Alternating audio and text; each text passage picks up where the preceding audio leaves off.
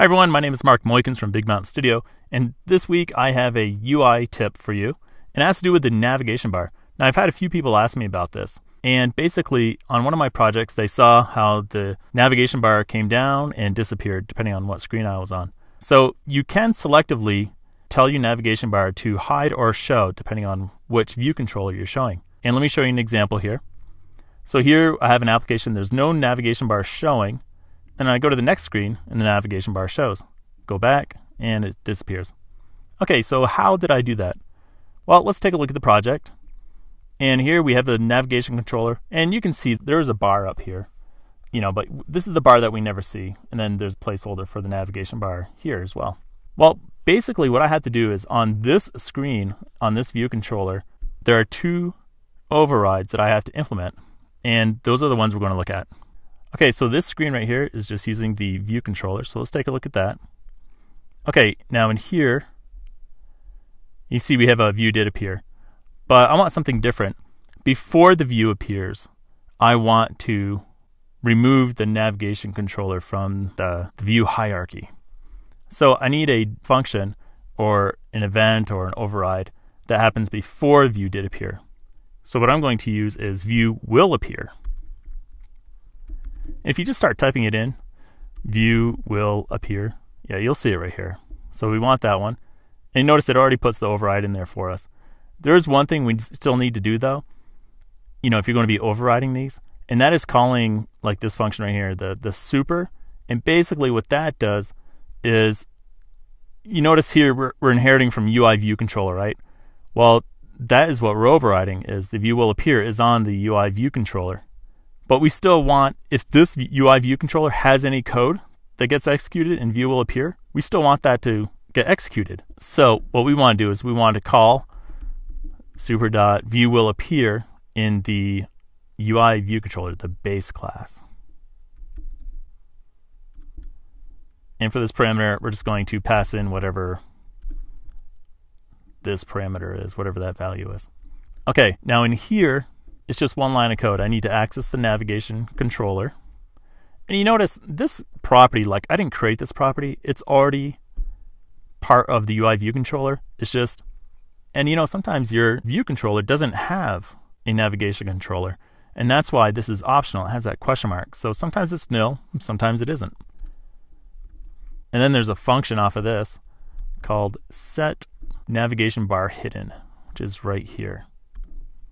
And this is what you have to set. So we say, yes, we do want it hidden.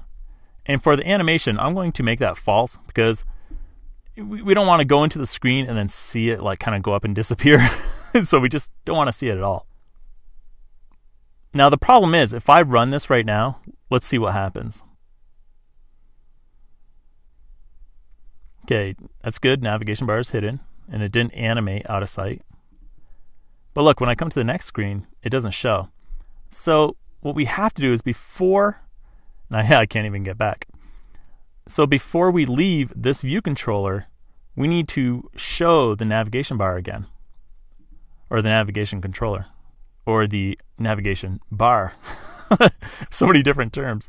Okay, the function we want to override here is view did disappear, and that basically means uh, that it's it's being removed. Yeah, it just says right here notifies the view controller that the view has been removed from the view hierarchy.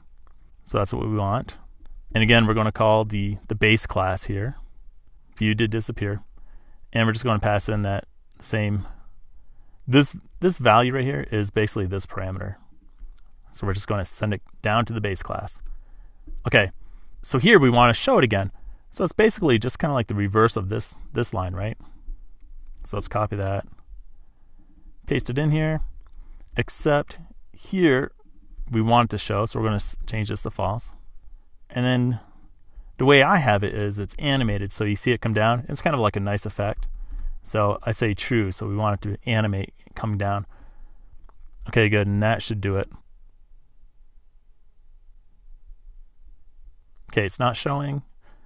Go to the next screen. The view did disappear gets run, and the navigation bar gets added back. Okay, good. Now, there's one last thing I want to clear up with you guys, and that is if we look at here, let's look at the help on these functions again. Like the view did disappear and the view will appear. Okay, notice it says here notifies the view controller that its view has been removed from a view hierarchy.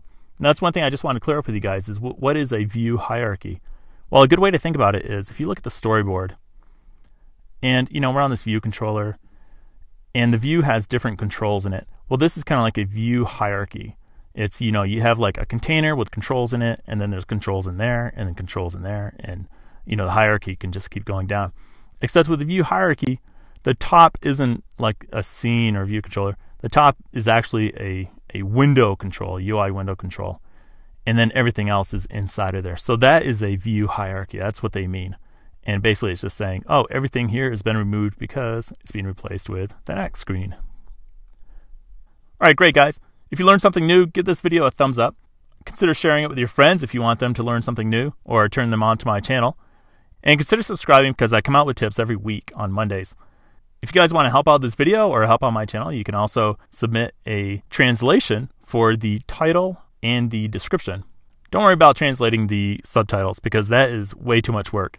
And I know some people have done done this in the past, and I really appreciate that effort.